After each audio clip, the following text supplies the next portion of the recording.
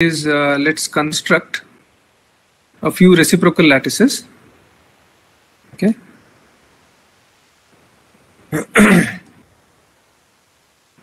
and also look at uh, what does the Brillouin zone look like. Okay. And visualize the Brillouin zones.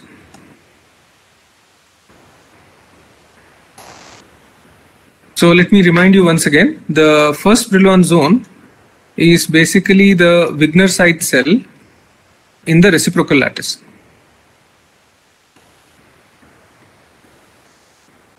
So, and if you remember, the Wigner Seitz cell is constructed by joining a, any particular site to all its neighbors, taking the perpendicular bisectors of those lines, and then looking at the intersections of the per per perpendicular bisectors. Okay, so this is uh, uh, this is how the Wigner Seitz cell in the reciprocal space can also be constructed using the reciprocal lattice, and that gives you the first Brillouin zone. and uh, remember, the first Brillouin zone is also very important because the edges of the Brillouin zone, okay, the edges of the Brillouin zone satisfy the Laue condition. So let me remind you what that was. And those are the reciprocal lattice vectors which give you the bright spots in the X-ray diffraction.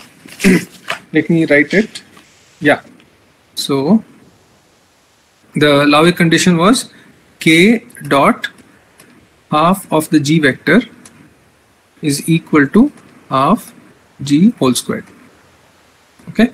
And uh, the g is a reciprocal lattice vector, which means if you take the uh, points in the reciprocal lattice, these are all connected by g vectors okay? The reciprocal lattice vectors right? So you take the perpendicular bisector of those and uh, then when you take the perpendicular bisector the in, the point here is basically half of the g vector okay? So you're taking all the points on this uh, uh, first Brillouin zone right? And that is what gives you the half of the g vector right? So the edges of the Brillouin zone satisfy this Laue condition which means those k points which lie on the first Brillouin zone edge, they are the ones which contribute to the bright spots in the X-ray diffraction. Okay, right. so let's take a simple example first. We'll just take a cubic lattice. Okay, and for the cubic lattice in uh, 3D, we know what are the three lattice vectors, the primitive lattice vectors. It's it's a simple cubic lattice, so a1, A2 and A3 are all the same. Okay. And what this means is that if I want to calculate the uh, primitive lattice vectors in the reciprocal space, you remember the B1 is given by A2 cross A3 divided by the triple product into 2 pi. So if we do that, we will just get uh, 2 pi by A x hat and uh, 2 pi by B, sorry, A y hat and 2 pi by a z hat. All right. So this also looks exactly like a cubic lattice where the lattice parameter now instead of being a is 2 pi by a. Okay. And the first Brillouin zone will basically go from minus pi by a to pi by a. Or in uh, 3D, you will get minus pi by a to pi by a in all the three directions. So you can exclude one of them, either this one or this one, because it's periodic. Okay, so the reciprocal lattice of a simple cubic lattice is also simple cubic, right? So that's what this is telling you. And uh, let's now go to BCC. Okay, so for the BCC lattice, uh, by the way, just let me stop for a moment. Uh, did all of you, were all of you able to download the resources in the resources folder? Because some of you uh, i mean i made all of you editors in the folder but some of you still wanted access to it so i did not completely understand what was happening. Are all of you able to access the folder contents? Yes sir. yes sir. Okay. Yeah if anyone is not able to access again let me know. Uh, what could be happening is that you know the ebooks there which are there in that folder i have created shortcuts from another folder and maybe that other folder is not shared with some of you guys with you guys that is why uh, some of you may not be able to download okay but uh, I guess uh, slowly this will get ironed out. Okay, so let's take BCC now. So BCC is a body-centered cubic, and for a body-centered cubic, let's see what the primitive lattice vectors are. Okay, so it's here, here, here, here, and so on. Okay, now you see for this point, the nearest neighbor is not this, right? For this point, the nearest neighbor is actually this, right? So this vector is half along the body diagonal, okay? And similarly, what I can do is I can take the half of the body diagonal in the other directions, okay?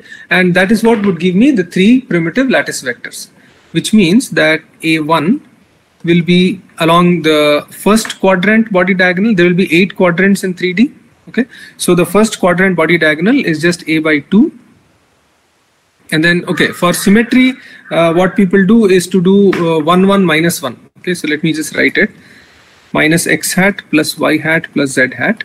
Instead of taking it all plus, all plus 1, plus 1, plus 1, there is a minus 1, plus 1 and plus 1.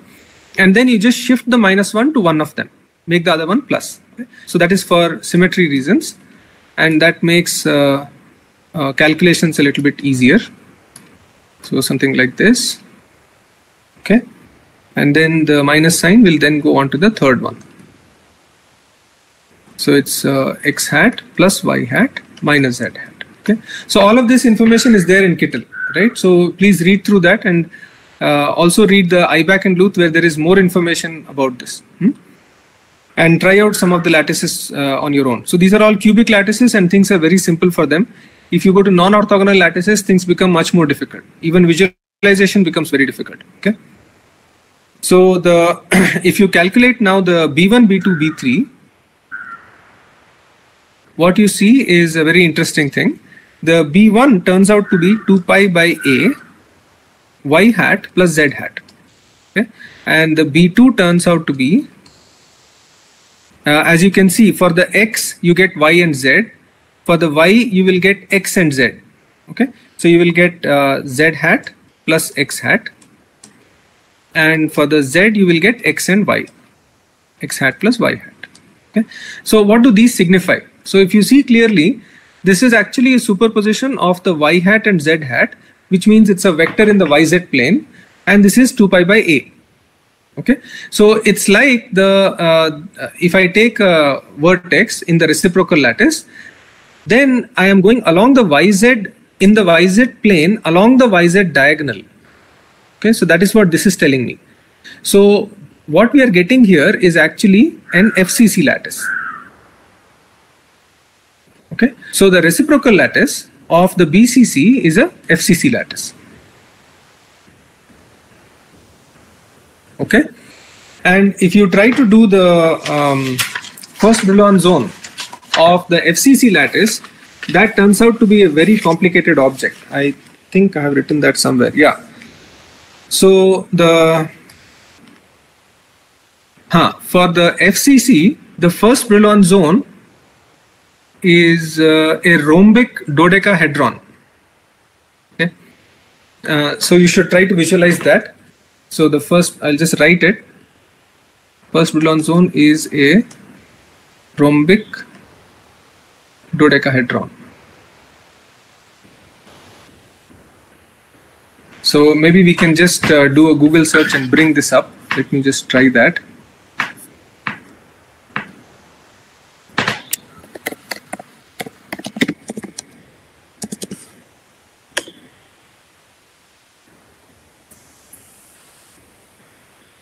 Okay. So this is the rhombic dodecahedron. So are all of you able to see this? Yes, sir. Yeah. Okay. So this is the first Brillouin zone of the BCC lattice, right? So that's a pretty complicated object. Okay. If you want to work with K space and you want to do, let's say, uh, some kind of a K summation, a Brillouin zone summation, which is required in many calculations in density functional theory, in quantum many-body theory, and so on then you have to take this kind of a Brillouin zone, discretize it in K space, and then do the calculations. Okay, so um, it's uh, non-trivial, quite non-trivial. Okay, so this is for the BCC. Now let's take the FCC. And as we should expect for the FCC, we will get back a BCC. Okay. Um, see. Okay. so let's start with the FCC now. And for the FCC, we already know the primitive lattice vectors.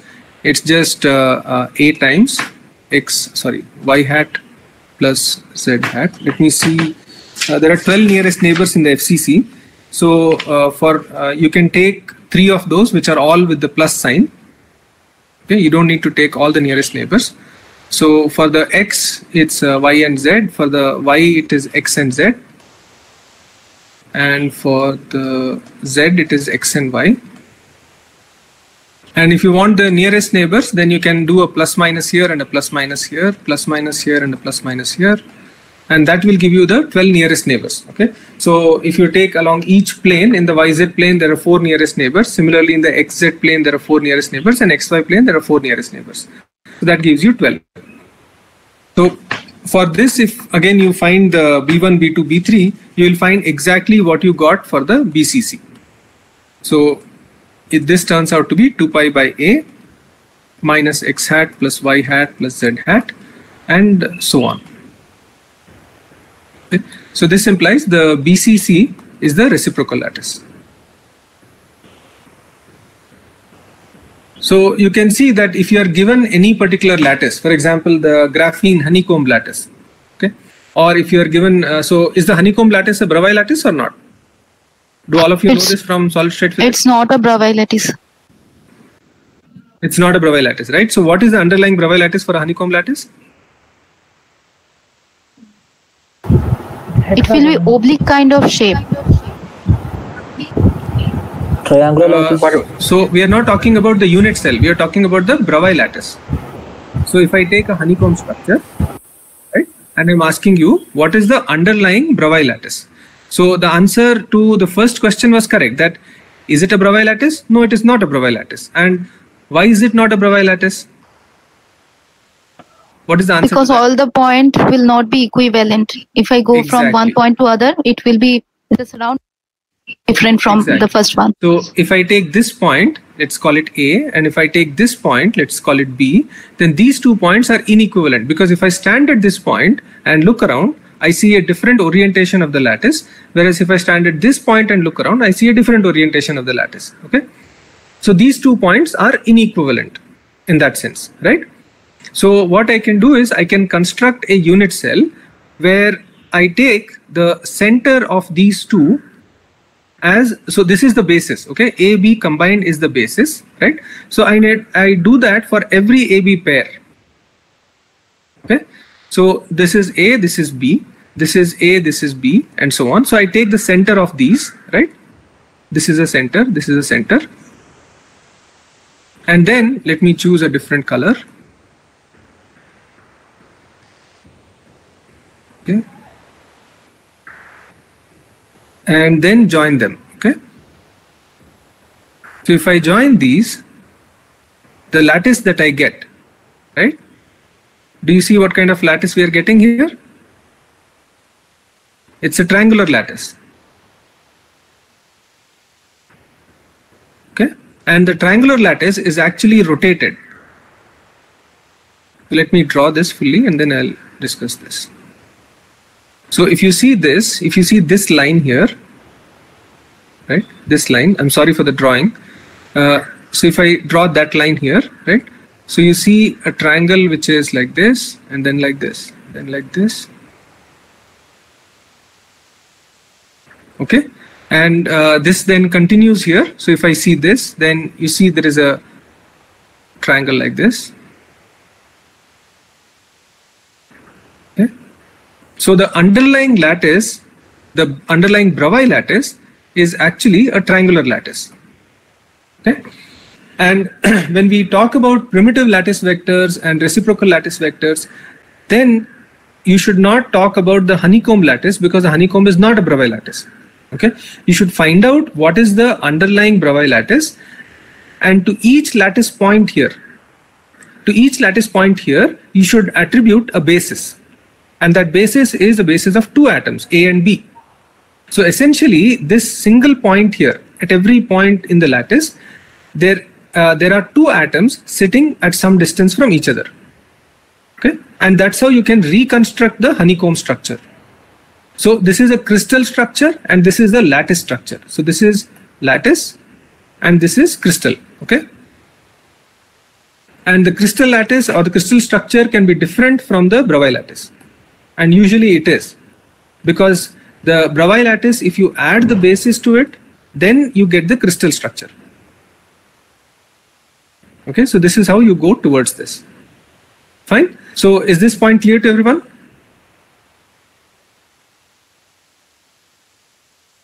And do you see? Do you also see that this is actually a rotated triangular lattice? So the honeycombs are horizontal here, right? But if you see the triangular lattice, that is actually rotated. And uh, what you can do from here is that you can take any two nearest neighbors. Let's take this and this. Okay. And these two would then constitute the primitive lattice vectors. Okay. So in in this case, for example, going from this bond to this bond, and this bond to this bond, right? So this vector and this vector, these would constitute the A1 and A2 in the 2D honeycomb lattice.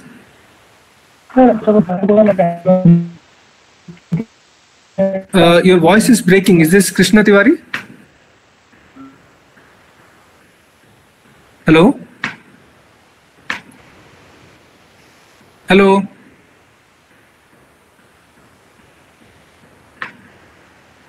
Am I audible to the others or is my voice breaking?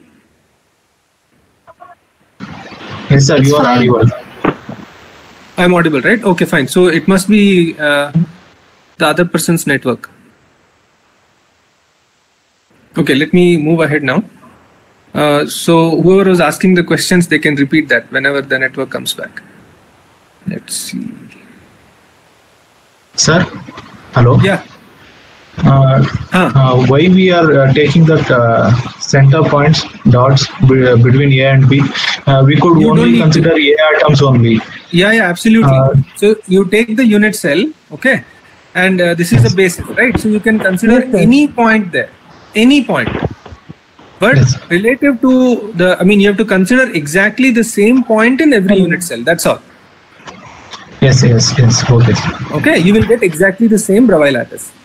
okay, You okay. don't need to consider the midpoint at all. Definitely not. So what I can do is I can take only the A points, okay, so and then join them. Right? You will Yes. get exactly the same thing. See, you will get uh, just a shifted curve. Okay? Like this. You understand? Yes, sir. Yes. Okay. Okay. Yeah. Any other question? So basically, this these kind of things you need to understand because in the test I would be asking these kind of things. Okay. So if I give you a certain kind of a lattice, you would have to identify the unit cell. You would have to identify the primitive lattice vectors, construct the reciprocal lattice, identify the uh, the basis and the Brillouin zone if possible, if it is not too difficult.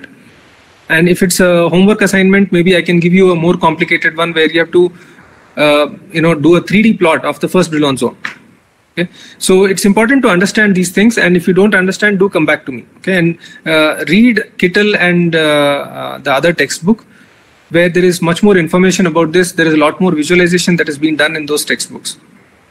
Okay, but this is something that you will have to put thought into this. Okay, it's not uh, it's not always very obvious what is the underlying lattice of any crystal structure, right? Okay, and uh, um, remember that the primitive lattice vectors or the reciprocal lattice vectors they are all with respect to some Bravais lattice. They are not with respect to a crystal structure. So you have to identify what is the Bravais lattice you are working with, right? all right. So um, and if I uh, then do uh, so, this is what what we discussed is that for the FCC real space lattice, we get a BCC reciprocal lattice. And for the BCC reciprocal lattice, if I again do a first Brillouin zone visualization, what I get is a truncated octahedron okay, a truncated octahedron. So let's see what a truncated octahedron is. what does it look like?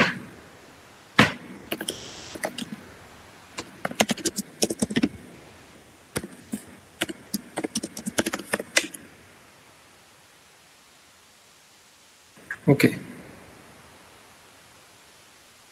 Wow. Okay, that's uh, a truncated octahedron. Hmm.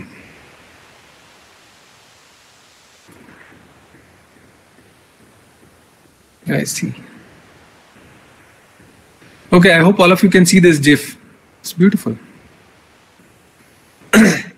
all right, so let's now move on to the last topic of this, uh, of the, I mean, la last part of this topic, which is the structure factor and the scattering power of individual atoms. So what we saw in this uh, honeycomb lattice, honeycomb structure, is that there are two atoms in the basis okay? And when x-ray diffraction happens or when x-ray scattering happens then the electron density due to the a atom and due to the b atom will not scatter the x-rays equally okay? Not always. So if they are the same atom then maybe yes okay but if they have different environments or if they are two different atoms then the scattering power of each atom is not going to be the same. Now the question is that can you now deduce from the intensity map that you're getting can you deduce what kind of atoms are there inside okay or can you deduce the position of the atoms and so on okay? So that is basically what x-ray diffraction is supposed to do okay? So let's analyze the scattering amplitude a little bit more and see what other information we can get out from that all right. So let's go back to the uh, the expression that we had the scattering amplitude. That is the basic quantity that we are always worrying about. So this is dv n of r times e to the power minus i g dot r. Okay, so uh, this is what uh, we can call the n times sg, where the sg is basically the okay. Let me uh, let me not confuse you here.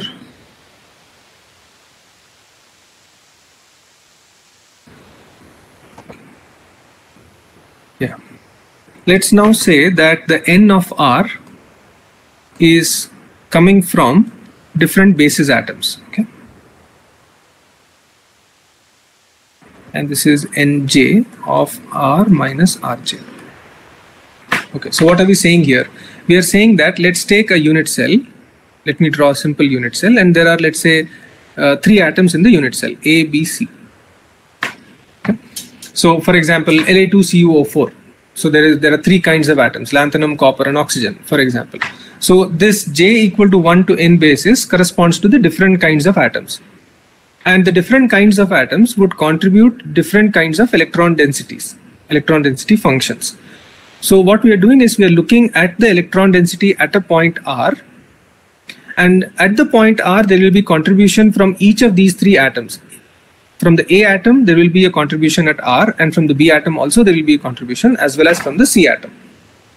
So the total at each point in the in space will be the total contribution for the electron density. Now let's take this and substitute this into the Fg. Okay. Then what happens? So we can take this and then substitute this into this Fg.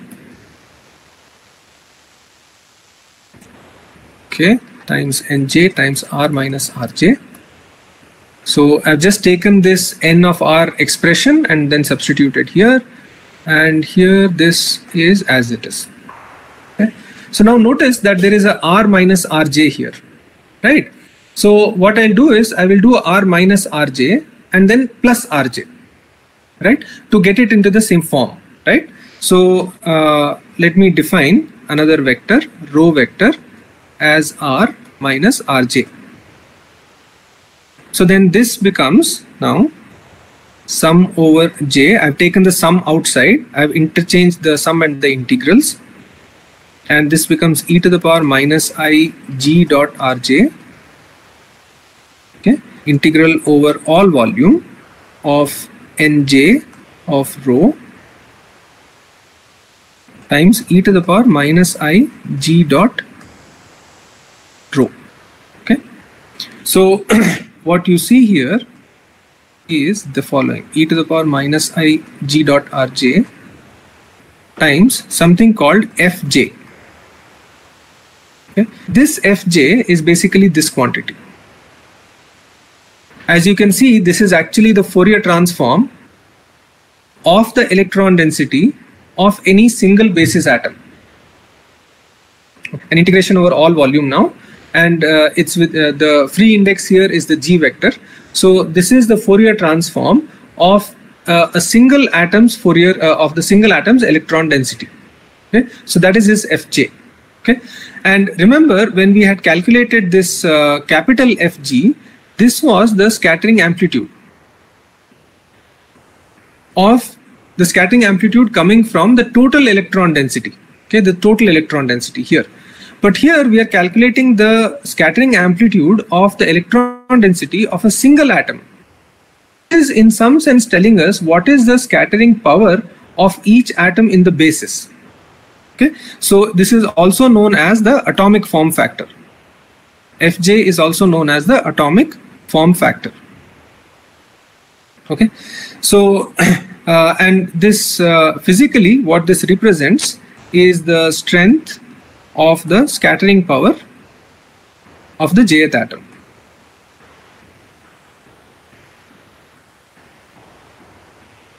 Okay. So what one can do is again, this is uh, not a quantity that you can directly extract from the intensity map that you get from the X-ray diffraction. You again have to do modeling to get these atomic form factors, substitute that into the expression and then do a model calculation, get to the full intensity map using the model calculation, compare that to experiments and then keep refining this. Okay. So as we discussed earlier, there are a lot of cross checks and there's a lot of theory which goes in uh, uh, finally for comparing with the experiments. So that's how you get the X-ray crystal or the, the final crystal structure of the uh, system, of the material that you're studying, right?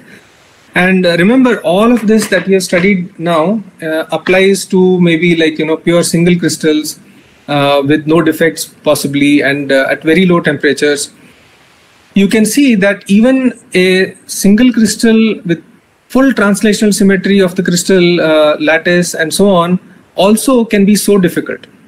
Okay? Now imagine if the system has defects. It has, it could have substitutional impurities, it could have interstitials, it could have, you know, defect structures like, uh, uh, you know, defect planes, or there could be, uh, uh, what are those called, twinning defects and stuff like that. There could also Hello? be, yeah. Sir, Yes, yes. Huh. just uh, Yeah, I can hear you. A minute. So, please, uh, can you tell me from uh, previous Sorry? uh, some? Sir, uh, there are some internet issues, so I just cannot uh, hear uh, last one minute. So, can yeah, you yeah, repeat sure. that? So, in the last one minute, okay? Yeah? Hello. Yeah, in the last one minute, I guess I was talking about. Uh, uh, so, starting from here, let me start from here, okay? This Fg that we had written uh, in the very beginning is basically the scattering amplitude of n of r. Correct? Ah. Ah.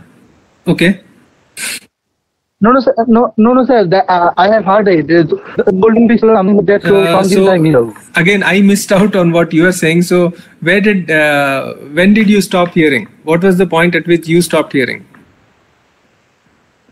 did you hear about the atomic form factor Uh, uh, Fj is equivalent to the strength of Ah, good. power Okay, of so J atom. heard, right Uh, yeah, yeah, I was atomic form factor. that see all the formalism that we studied until now is for perfect crystals which means there are no defects. There is uh, uh, i mean we are talking about extremely low temperatures. So the uh, there are probably no active phonons in the system. The rest mass motion is extremely small and you can consider the crystal as a completely rigid crystal. Okay? Even the electron cloud that you have is not dynamic right? So if all of that is satisfied then this formalism holds. But in reality you always do experiments with maybe you know crystals that are deformed. There could be polycrystalline samples there could be powder samples there could be defects in the crystal and you always do at finite temperature. So you know if you put in all these complications in and you want to extract the crystal structure out of those kind of samples then you can imagine the amount of hard work that you have to put in and you have to go far beyond this formalism that we have just now discussed in order to be able to extract the crystal structure. Now that is as far as inorganic substances go. So what about organic substances? Let's say you want to extract the crystal structure of a protein, right? So what one has to do is one has to crystallize a protein. And remember, a protein could have tens of thousands or even a million atoms, right? So each basis point or each um, each point in the lattice, in the Bravais lattice, could have uh, in its basis 1 million atoms. And each of those million atoms would be contributing to the scattering. Each of them would have some atomic form factor right? And it's also uh, you know an organic object right? So uh, you you may not be able to form very large crystals or they may not be mechanically very hard and so on. So extracting the crystal structure of uh, such objects definitely would be a herculean task and uh, uh, it's really i mean uh, once you study the basic formalism, then you can start appreciating what kind of effort goes in in order to derive the crystal structure of real material systems, which are probably disordered, which are doped, which are you know uh, which have a large basis and stuff like that.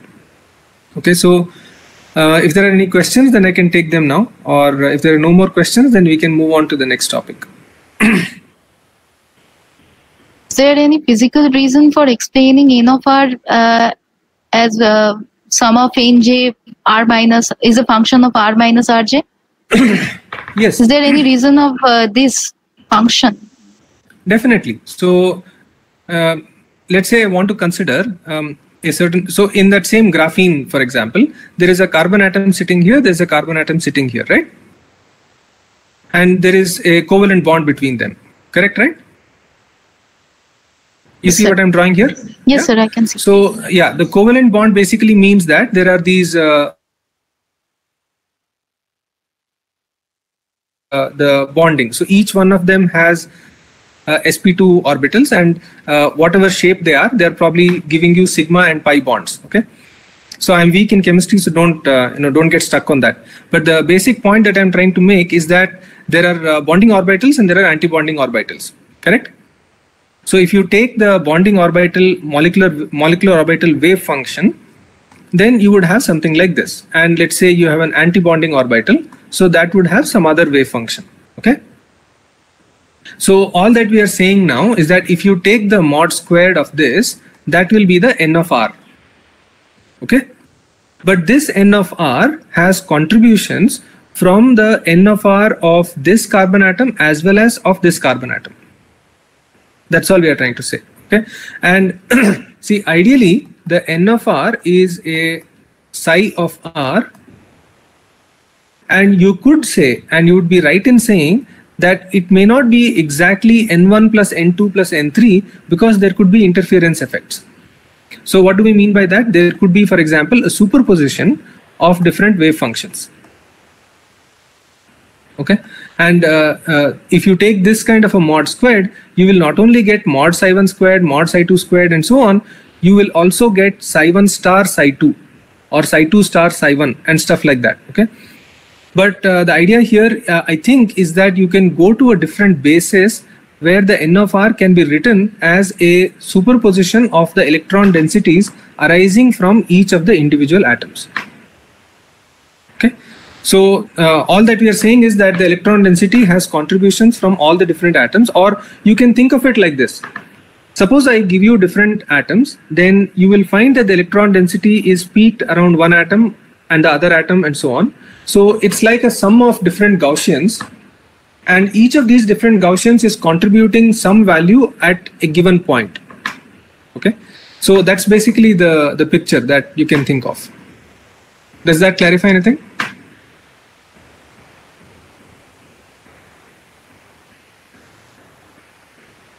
Sir, I want to know why the function is of r minus rj and not uh, only r. Okay, okay, okay, okay. Yeah. This one here, right? Yes, is it Ah. related to some kind of symmetry? No, Because, no, it's not. uh, It's not. It's not. So uh, you can go back to, for example, um, let's say I want to find the potential, let's say of three charges. Okay, let's say Q1, Q2 and Q3. Let's say this is placed at a point R1, this is placed at a point R2, and this is placed at a point R3. Okay, so I'm giving you this charge configuration and I'm asking you find the potential at some point R. Right? Okay? Yes. Okay.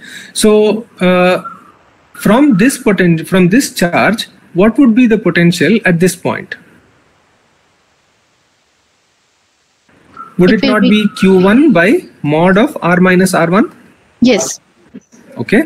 And from Yes. this one, it would be Q2 by R minus R2. Correct, right? Yes, sir. Okay, so all we are saying now is that the charge density also is a similar function, right? Which is arising or which is centered around some atom placed at R1 or R2 or R3. Okay, but when you want to find it at some arbitrary point R, then the point at which the atom is placed becomes the origin. And you have to consider R minus Rj in order to find the electron density of that particular atom. Th- this has an exact parallel here. Do you see this? Yes, sir. Okay. So Yes, sir. that's basically what is happening here. Yeah. Okay, sir. Any other questions? Sir, Yeah. so sir, electron density in the crystal is basically uh, continuous way. Uh, continuous way. So how can we say that uh, uh, there is a, now a, a certain of electron density and some from A, some is from B, some from C. Uh, uh, at a at some point, R vector. How we can differ? So are you saying that? Okay. Let me just clear this. Your voice is breaking, but if I understand your question, you are saying that n of r is a continuous quantity. Isn't that what you're saying? And how can you break it up into such discrete quantities? Yeah, yeah, yeah. Is that your question? yeah. Okay. Yes, sir. Sorry, your voice is breaking. Does everybody uh, think that his voice is breaking, or is it only me? Yes, sir. yes, his sir. voice- His voice is breaking. Good. Okay, fine. That's a confirmation. So, um, if I understand, so just let, tell me yes or no. Okay, if I understand your question correctly, what you're saying is that the n of r should be a continuous quantity, but in writing in this form, is it somehow being discretized? Is it somehow being made discontinuous? Is that the question? And how can we uh, say, say that some amount of charge in the atom and some amount of Well, I- the- Okay. yeah, sure. So let me ask you the following question. Okay. So let's let's take the same example of the potentials. So because that's a simpler example, one can visualize that very simply. So if I take uh, the charge one here, charge two here, and charge three here, okay, and I want to find the potential at some arbitrary point r. Hmm? Can I not take the potential due to Q1, due to Q2, and due to due to Q3 and add all of them to get the total potential at R?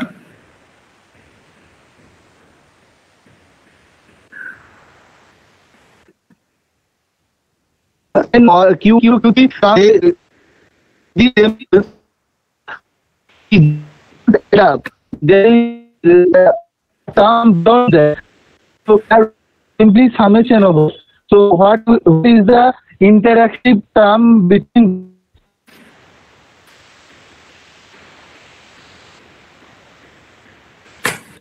Yeah, Hello? I'm sorry, the voice completely broke, so I could not understand. Hello. Are you saying there is an interatomic potential?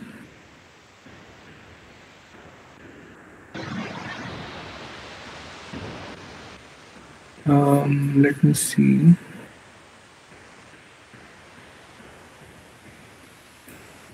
So maybe you can do one thing. You can just write to me afterwards, okay? and uh, then maybe I can answer your question over email. Is that okay?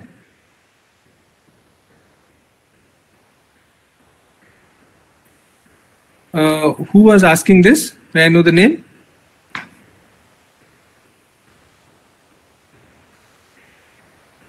Who was asking this question? Okay, I think the internet for that person is pretty bad. Okay. Are there any other questions? Oh, was it uh, Shovik Banerjee who was asking? Yes, sir, it was Shovik. Acha. Okay, uh, so Shovik, why don't you ask your question over email? I will try to answer that. Okay. Let's uh, move on to the next topic. Okay, sir. There are some two on Your internet is bad, man. You have to change it. Hello. Hmm. Get a better connection. Are you in JNC or are you outside? Are you outside or in you are in JNC?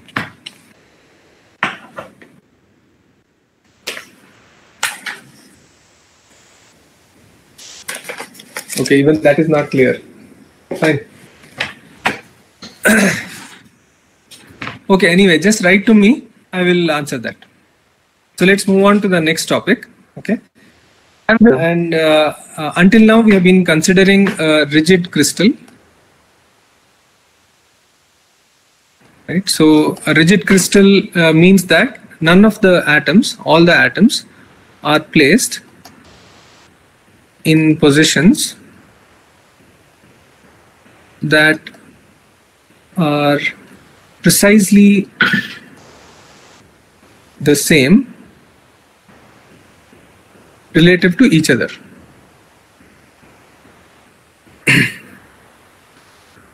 Which means you can move the crystal, you can rotate the crystal and so on, but the relative positions are exactly the same, right? And that is what we were looking at when we looked at uh, a rigid crystal or we when we studied X-ray crystallography, right? But now let's uh, add one more degree of freedom and we'll say that the atoms can vibrate about their equilibrium positions. Okay, so that's one added degree of freedom. And most of you would know what we are talking about. We are talking about phonons, right? So this basically gives rise to the study of lattice vibrations. And if you quantize them, then what you get are basically phonons or phonons or normal modes. Okay. Now, as we saw that the Fourier series was a very important tool for uh, crystallography, it turns out that in the theory of lattice vibrations, again, there is a very important tool that has been used. Okay, there are many important tools that have been used, but one of them is called the Taylor series. Okay. And the Taylor series is something that most of you would have, would have studied. But let me again uh, go back to it and give you what uh, give you a short summary on that. So a Taylor series is valid for any function which is regular and well behaved. And what one can do is the following. Let me write the expression and then tell you.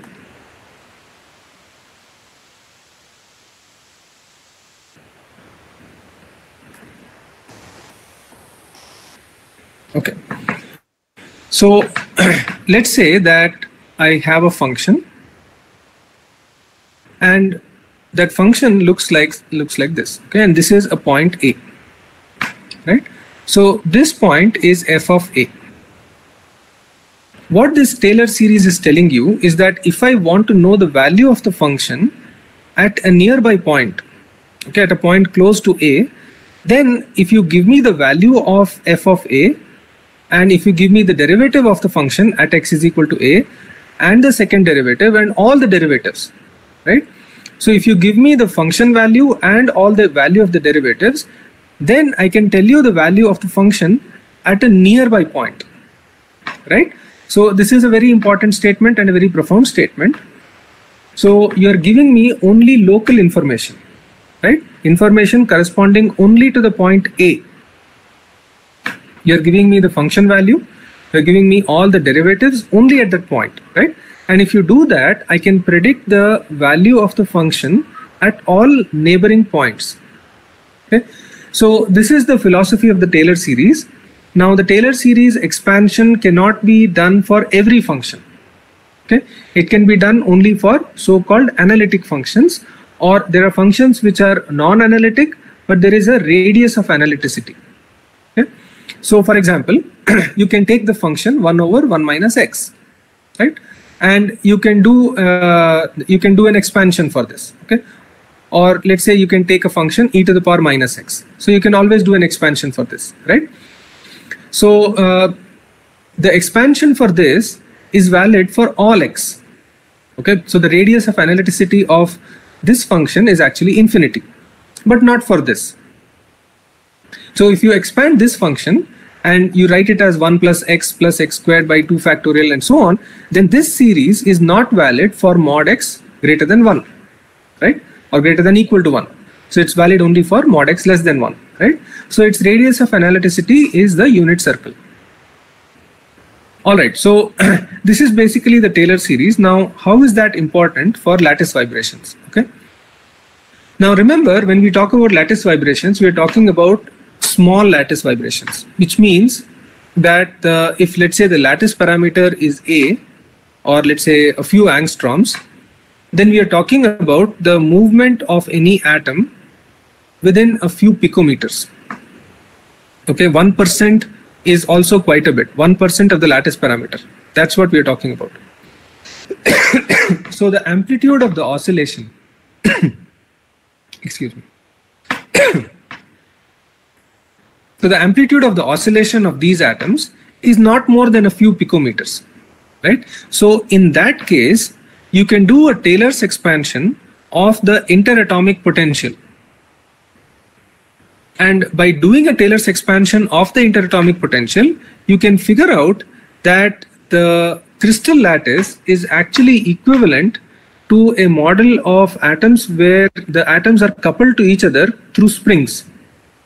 Okay, so uh, normally when we uh, think of a crystal lattice, okay, we say that these atoms are connected by springs. They are not rigid rods, right? They are connected by springs, and because of these springs, these atoms can vibrate about their equilibrium positions. But where does that picture come come about? I mean, how do you derive that picture? Okay, that derive that uh, picture of a coupled spring system, coupled oscillator system, is derived using the Taylor series expansion. Let me tell you how that is done. Okay, so let's write the interatomic or the total potential energy. Okay, so this is the potential energy that we are writing and let's write that in the following way this is u equal to n by 2 sum over phi of r plus of r r dash. Let me write this and then i'll explain this in detail.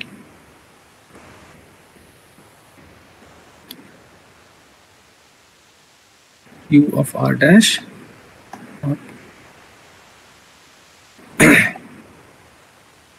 So what you see here is actually a generalization of the Taylor's expansion to higher dimensions.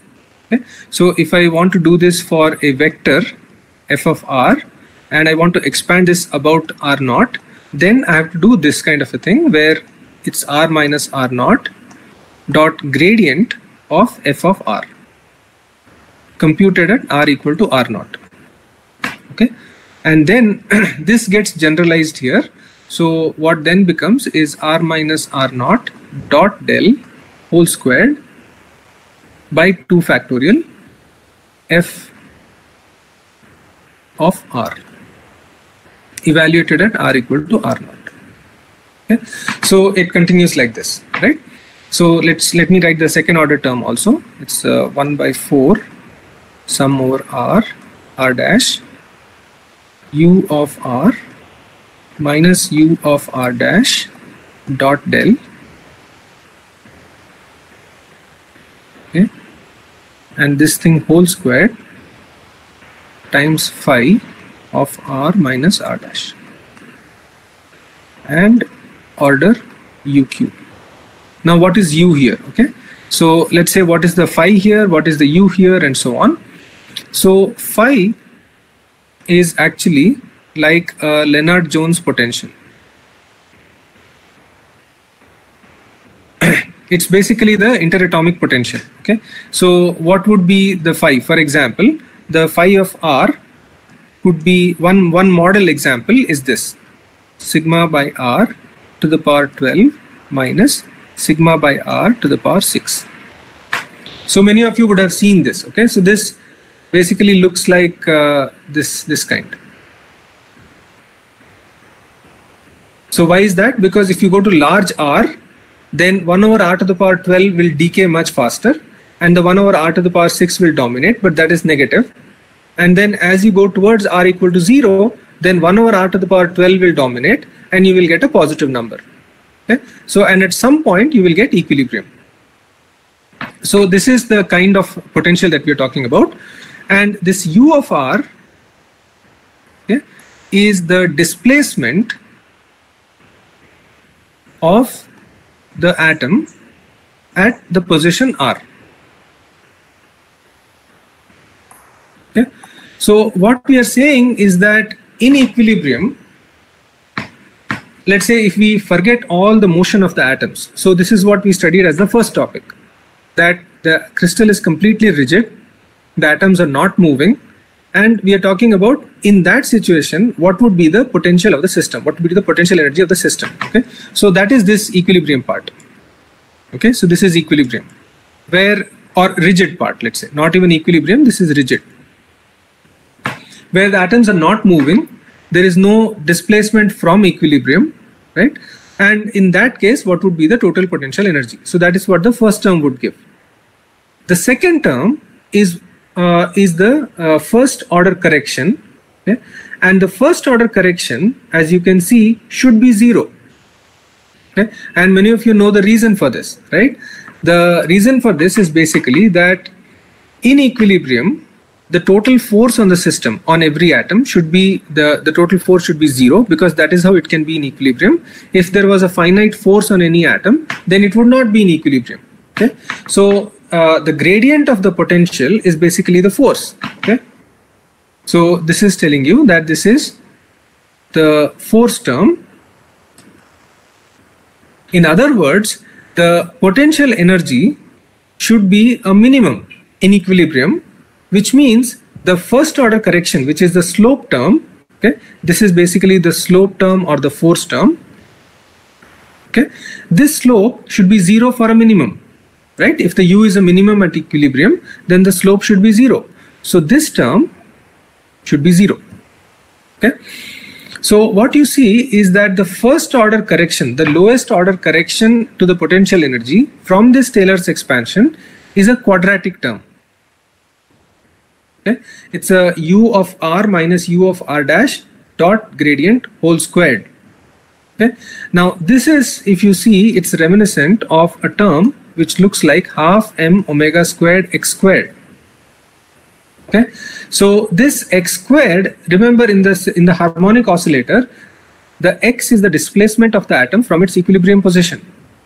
Okay? And what you're seeing here is something similar but generalized to higher dimensions. Okay? So u of r minus u of r dash is the relative displacement of one of the atoms minus the relative displacement of the other atom. Right so let's say if i take this and remember these are also vectors. Okay so i should have drawn these as vectors. Now this whole thing is a very complicated object. So for example if i take these two atoms okay and momentarily at some point in time this atom could be here and this atom could be here right? So it's oscillating about this equilibrium position right? Then the u of r minus u of r dash is basically this vector. Okay? So that's the vector we are considering right? And remember the springs that we are considering is also a very complicated object. Okay? The spring has to be in all the dimensions right? The y motion of one atom could affect the x motion and the y motion and the z motion of the neighboring atom right? So it's a spring that's basically a tensor like uh, you've studied that conductivity is a tensor which means if i turn on an electric field in the x direction i could actually get currents in the x y and z directions which is why the conductivity has an xx component a xy component and an xz component. Okay? Similarly here the response of the system to a perturbation is actually a tensor. Okay? And uh, um, if you study phonons in more detail if you study phonons in 3d and so on you will actually see what that tensor is like fact you uh, do something called a hessian matrix okay? And when you uh, diagonalize the hessian matrix you get the normal modes. So we will see some of that as we go along okay? But what is important to understand is that the motion of one atom in any one direction can affect the motion of the neighboring atoms in all the directions right? So that is what this particular term is trying to capture in all its generality okay? So is this point clear to everyone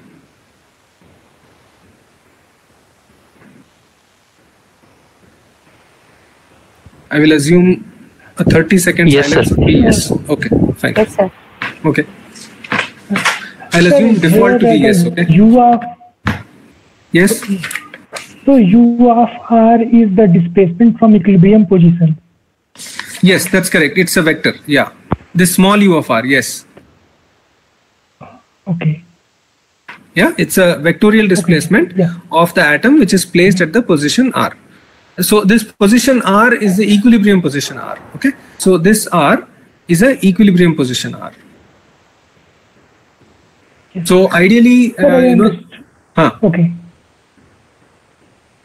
is that clear Okay, sir. You yeah yes, sir. And sir, this one by two, I understood. It's because R and R prime both we are counting. But why one by four is coming in the second term? so oh it should be 1 by uh, Six or so. well i uh, see the half is coming here so why did the half come here Uh, because we are counting on R and R prime both. So that will be uh, Correct. double counting. Correct.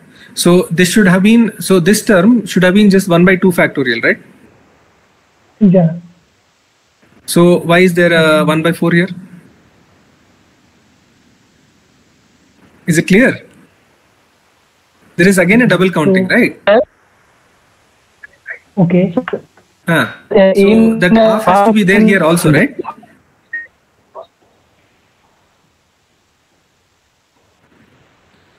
Hello? Yes, sir. Uh, sir, in fast conceptual, so we are downloading of the Shovik, you, you are not audible clearly. Your voice is breaking. Somehow you have to get a better connection. Otherwise, it becomes a monologue for you. You will not be able to speak back. It's very difficult to understand what you're saying.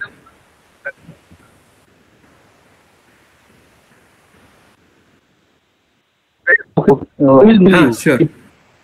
So, uh, uh, so Krishna Kanaya, was this uh, was the point clear? Why is there is a one by four? Still, I have a doubt because there is a square. That's why we are getting one by four. Sorry, sorry. Uh, because there is a square of u of r minus u of r prime. That's why we are. That is okay, right? So see, it's again r and r prime. by- There are only two variables here, right? So it's basically half yeah. into one by two factorial. That's all.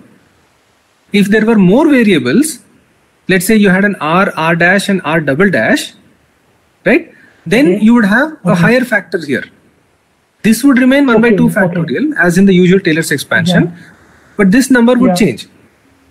Okay, Yeah. but because there are again only two variables, you again have a half. Yes, sir. Yeah. Okay, yeah, Yeah, that's right.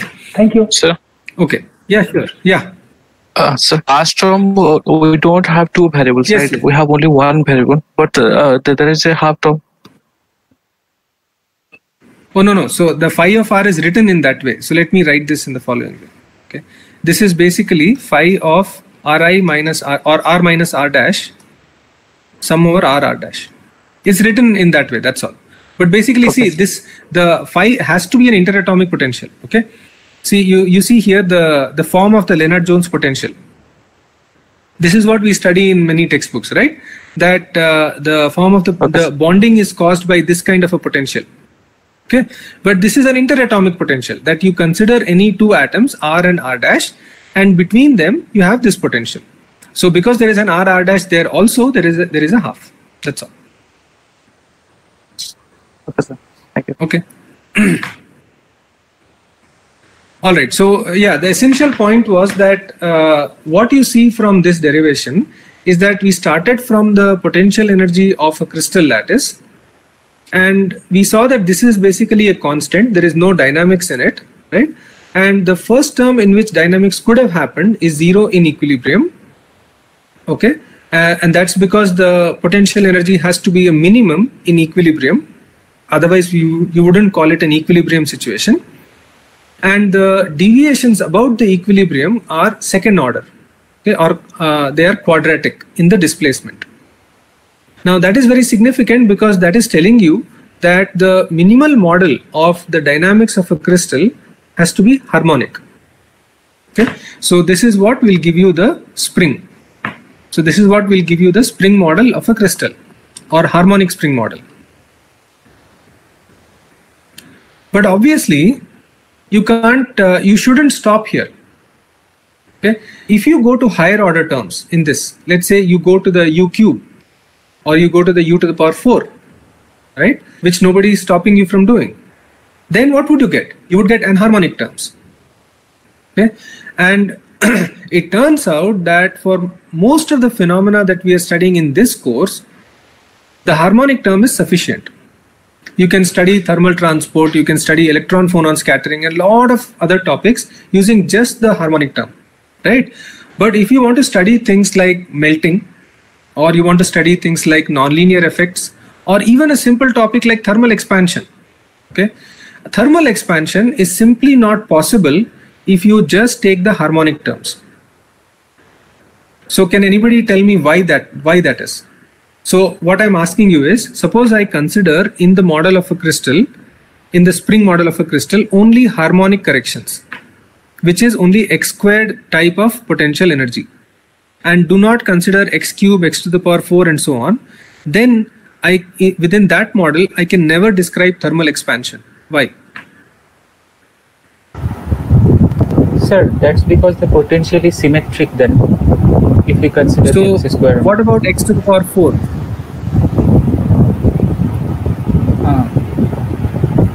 Then, sir, uh, uh, we have to take, take at least one asymmetric term. That will Good. So why why why why should we consider an asymmetric? Uh, that will uh, make the bond softer and uh, Why should that make the bond softer?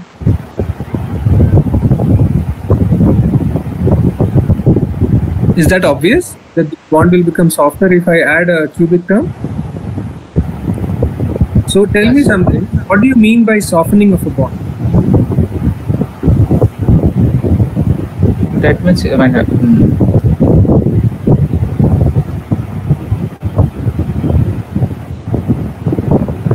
So is there some I- kind of a yeah? Go on. Go on. Uh, what, what I mean soft, softening of a bond means mm, the, lighter atom and uh, if, we must consider the bond between the heavier and lighter atom. So there will be a s- stretching towards lighter atom more. Okay, let me give you a concrete example then. Let me take a copper wire. Okay? And in the copper wire, there is nothing else except copper. So there's no question of a lighter or a heavier atom, right? And now I heat the copper wire. If I heat the copper wire, I know that the system has to expand. Okay? It's a normal metal, it has to expand. There is a thermal expansion coefficient also. You can calculate that. So the question then is that if the system is expanding upon heating, then the claim is that using a purely harmonic potential one cannot describe this situation. But as you said, using a cubic term, one can make the potential asymmetric and by making the potential asymmetric, one can get a thermal expansion description. Yes. But the the reasoning cannot be correct because you your reasoning was to do with a lighter atom and a heavier atom. But in a copper wire, there is no lighter or heavier atom, right? It's a homogeneous system. It's a single atom system. So what could be the reason?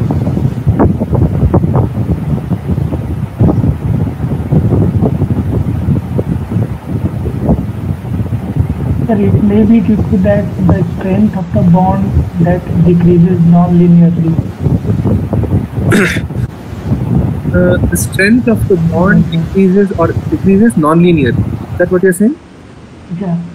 Yeah. So first of all, why don't you define the strength of the bond? What do you mean by the strength of the bond? The equilibrium uh, attraction between the two edges atom or the bond strength. Okay, see this. the Lennard-Jones potential, let's say I if I give it to you, okay, then the Lennard-Jones Yeah. potential has this curve, Yeah. right? Yeah. And this is the equilibrium point. Yeah. Now, what you're doing in this kind of an expression is basically you're taking the derivative of the Lennard-Jones potential. Remember the phi of r minus r prime, you're taking a derivative with respect to that, right? So essentially, the Lennard-Jones potential is not changing. Yeah. Okay, Yeah. it is certainly a nonlinear effect. That is true. But what happens when you add a cubic term is it's true that it becomes the potential becomes asymmetric. So a harmonic potential will be purely symmetric.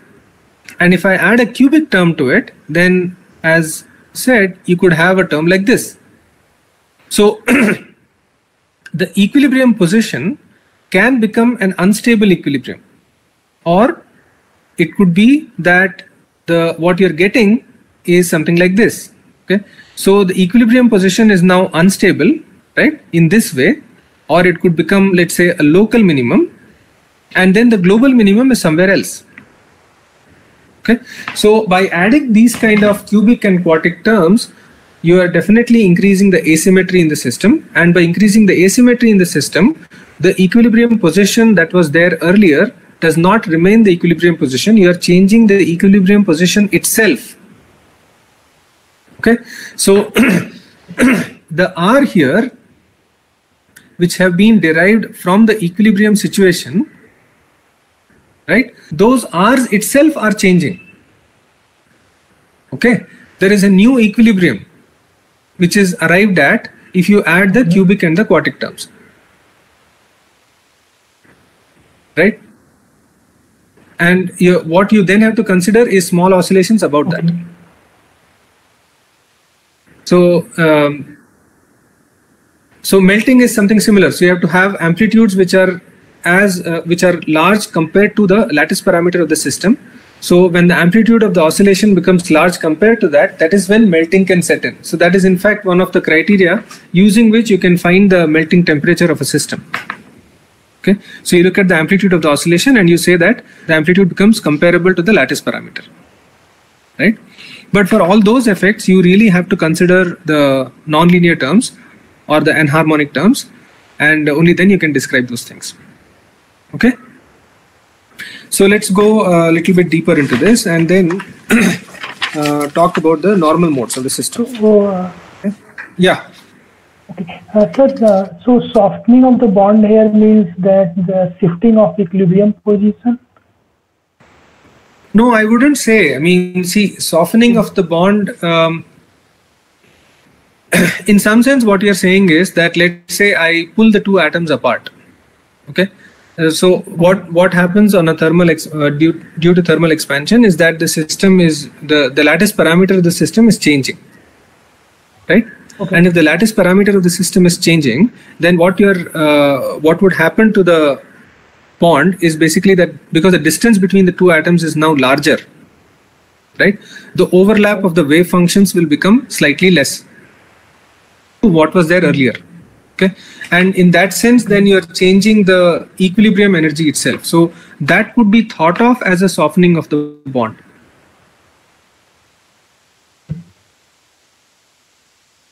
but that is not the kind of language I would like to use. See, there are other kinds of words. The softening is actually reserved for the phonon modes. So, for example, uh, what can be uh, uh, what is usually discussed in this literature is that you look at the normal modes of the system, and then if some of those normal mode frequencies are going towards zero or becoming lesser than as compared to let's say ambient conditions okay? You apply pressure or you increase the temperature and you find that the normal mode one of the normal modes or a few of the normal modes are decreasing in energy okay? So that is called softening of the modes. And usually a softening of the modes can describe the transition or the the crossover to or the movement of the system towards a phase transition. Because softening of a mode usually means that the, some of the phonon modes are getting unstable. Okay? And it's possible that the system is just about to assume a different symmetry or it's about to melt or things like that. Okay so softening is usually reserved for phonon modes and uh, i'm not sure if softening can be used for bonds also. You can talk about the energy of the bond and so on but again at finite temperature what would that mean? I don't know. Okay? So i'm not familiar with that literature. You can find out and let me know. Okay, sir. I'll try. softening of the bond if it's if that is uh, an expression that can be used. Okay? So let me start with uh, lattice vibrations and what's the time? It's 515 so in the uh, what is going to follow we will do a simple i mean brief review of uh, oscillators and phonons. And uh, once we do that then we will go on to the dispersion of more complicated systems and then look at uh, the once we look at dispersions then we look at uh, thermal conductivity and uh, so on. And then finally in this topic we will look at the raman effect also. Okay? so because raman effect is basically a scattering of uh, phot- phonons with photons. So that will also be something that we'll look at. But um, uh, let me stop here okay? So next time what we'll do is we'll start with uh, quantum harmonic oscillators and we'll discuss the the similarities and differences between uh, the quantum phonons and classical phonons. And we will also look at some examples of phonons first. We'll try to visualize phonons and then we will go into the normal modes. Okay normal mode calculation for 1d and we'll see if we get time then we'll do it for 3d also. Okay so today i want to stop here. And if there are any questions then i will take more questions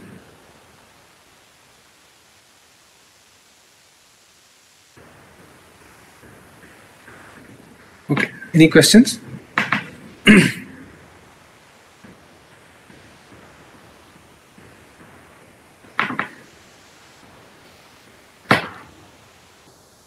no questions good Sir, uh, in real lattice, all the lattice points correspond to position of atoms or say ions. Uh, Yes. But uh, whenever we are drawing bigger size cell in reciprocal lattice, uh, in that case also there are some points. I want to know what does the points mean in the reciprocal space.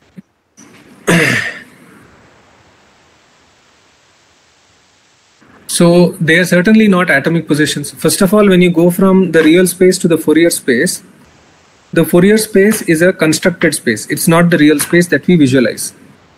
Correct, Yes. right? Yes. So in that sense, um, yeah, I wouldn't be able to place a direct uh, real space interpretation of the points in the reciprocal space. That is for sure. Okay. Okay. um,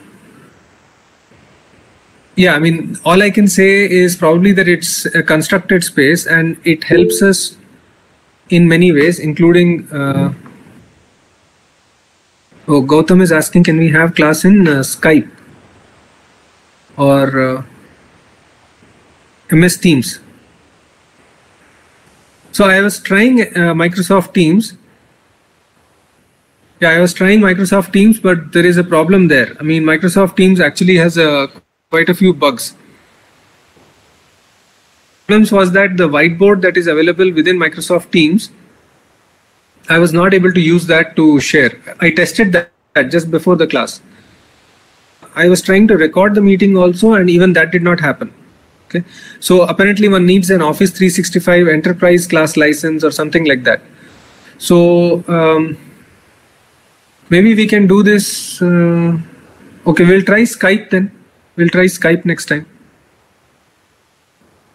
Or I will figure out what to do with the Microsoft meetings. Uh, we can also, I think we have licenses. Maybe mine is not activated. I will try to activate that. Okay. Anyway, let's go back to the question. So was it uh, Shomita who asked the question? Yes, sir. Okay. So yeah, Shomita, I will not be able to place any more emphasis on the reciprocal lattice points. Uh, I mean, they are probably a construction that help us to do a lot of things and those are the points that appear in the X-ray diffraction, right? So each of those points corresponds to some uh, reciprocal lattice vector. And uh, yeah, more than that, I don't know. I mean, I, I'm not sure that question. If you can probably rephrase that question and make it more sharper, I guess, or rephrase it in some way, maybe we, there there might be an answer. But that's all I can say. I wanted to know is there any uh, physical meaning of those points in reciprocal space Well, they have a manifestation. See, a physical meaning. Meaning, are you are you looking at a real space visualization? No, right? Is I want somehow uh, uh, some kind of visualization of that. You can see. The thing is, for any given real space lattice, you can always construct a reciprocal lattice space. Okay, and like we did that for here, like we did that in this case, we said that if you take a simple cubic lattice, you again get a simple cubic lattice. But if you take a BCC lattice, you get an FCC lattice as the reciprocal lattice. Okay. Yes. And the lattice parameter of the reciprocal lattice is actually 1 over a or 2 pi by a. Yes. Okay. So in that sense, you can think of it as a um, uh, not as a real space lattice for sure, but uh, uh, it's a construction that helps you to understand the scattering of the X-rays and to derive the real space information from that uh, intensity map that you get from the X-ray scattering. So I mean there is there is a manifestation of the reciprocal lattice, but and also you can visualize it because you can construct it. But more than that, I don't know what to say. Uh, okay.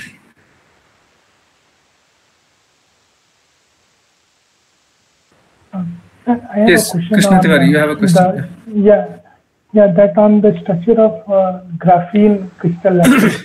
So Gautam, uh, sorry, one more thing. Sorry, Gautam is saying one more thing. So Gautam is saying that each point in reciprocal space has coordinates of HKL. So each point corresponds to a set of parallel planes. So, uh, each point in reciprocal space corresponds to a set of parallel planes. So that defines a set of planes also for you. So that's a, a different kind of a visualization. Nice. Thanks, Gautam. He's basically talking about the Miller indices. So- Yeah.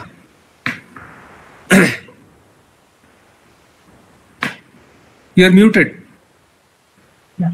Uh, so, uh, sir, uh, graphene has a hexagonal uh, crystal lattice also. No, it has a honeycomb structure. Yeah. A honeycomb structure is different from a hexagonal lattice. Okay. So I cannot different uh, like uh, I'm not clear about the differentiation between the two because using hexagonal also we can get the graphene structure. Well, see the uh, is the hexagonal lattice a Bravais lattice?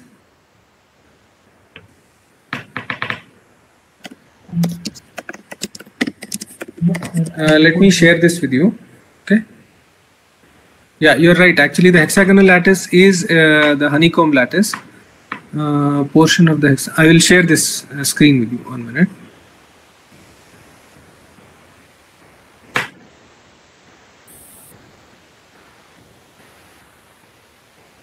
Yeah. So can you see this? So this is the hexagonal lattice, right? Yeah. But this is not a Bravais lattice. Okay. The so if you see here, for example, this is where the uh, the lattice vectors are shown. Okay, and the Bravais lattice for this is actually the triangular lattice. Okay, so the triangular lattice, so this is basically the honeycomb lattice.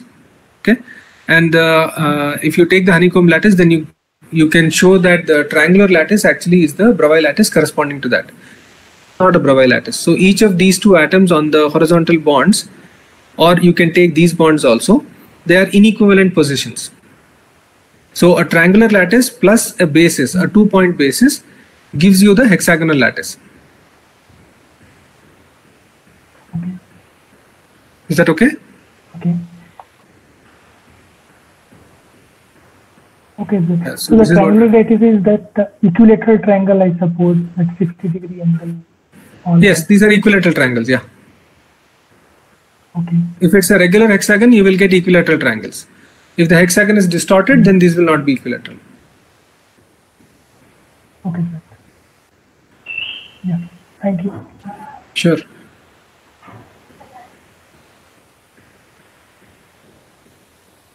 Okay, so let's meet next Wednesday then. I will try out again. I will try out the Microsoft Teams. Um, but again, I'm not sure.